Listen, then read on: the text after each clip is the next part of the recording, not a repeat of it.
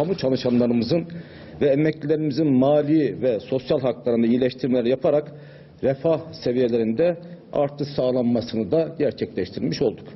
Bu kapsamda özellikle 2023 yılı Ocak ayında kamu çalışanlarımızın ve emeklilerimizin aylık ve ücretlerinde ilave refah payı vererek %30 oranında artış uyguladık. Ayrıca bayram ikramiyeleri, bayram ikramiyelerini 2000 liraya, en düşük emekli ailenin ise 7500 liraya çıkardık.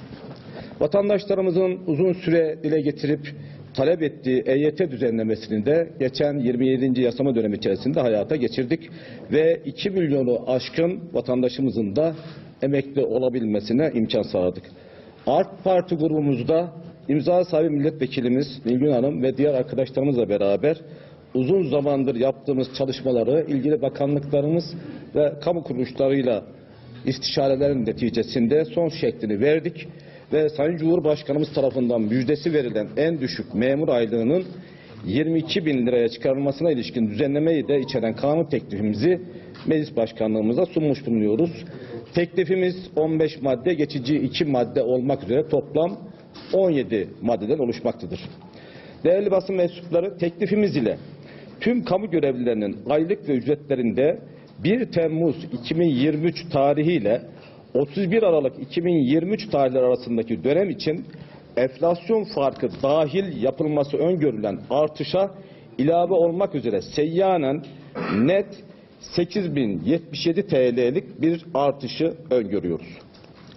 Burada en düşük memur maaşı 22 e, Aralık 2022 tarihi itibariyle 9105 TL iken 2023 Ocak tarihinde 11.848 TL'ye artış oranıyla beraber 2023 Temmuz'unda 22.017 TL'ye çıkartılacaktır.